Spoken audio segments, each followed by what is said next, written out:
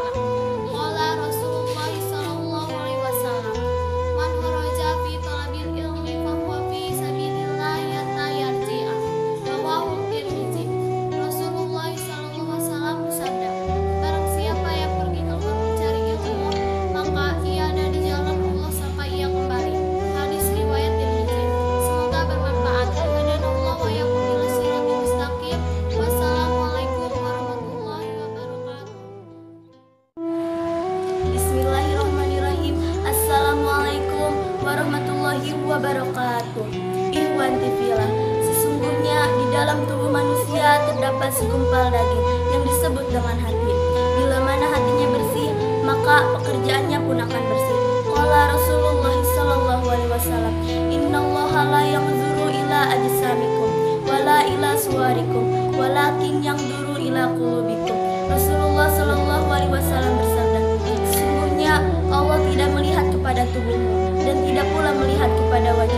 Akan tetapi Allah melihat kepada hatimu. Semoga bermanfaat.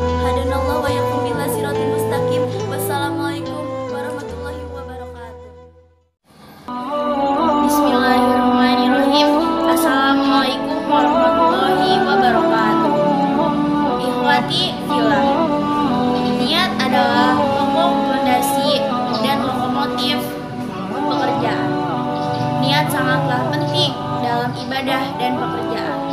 Qala Rasulullah sallallahu alaihi wasallam.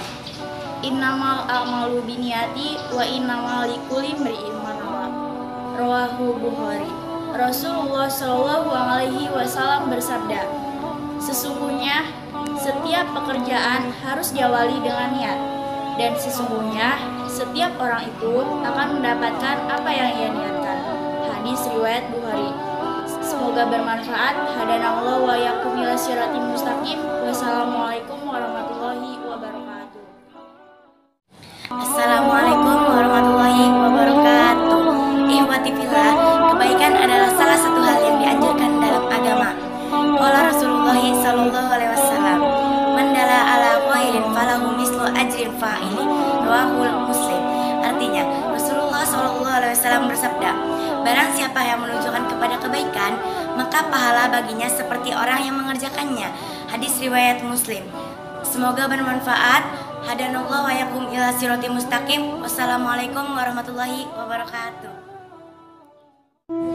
Bismillahirrahmanirrahim Assalamualaikum warahmatullahi wabarakatuh Ikhwati fillah Tahukah kalian Mengadu domba adalah hal yang sangat dibenci oleh Allah subhanahu wa ta'ala Qala Rasulullah sallallahu alaihi wasallam La yadkhulul jannata nammamun Rawahul muslim Rasulullah sallallahu alaihi wasallam bersabda Tidak akan masuk surga orang yang mengadu domba Hadis riwayat muslim Semoga bermanfaat. Hadanallah wa yakum ila sirati mustaqim. Wassalamualaikum warahmatullahi wabarakatuh.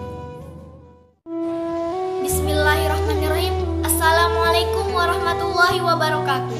Ikhwati fillah, berbagi adalah hal yang baik di dalam agama. Berbagi tidak hanyalah dalam harta dan makanan. Kita berbagi bisa dalam ilmu. Qala Rasulullah sallallahu alaihi wasallam, "Man su'illa an ilmin faqatamahu ulzima yaumal qiyamati bilizamin min narin."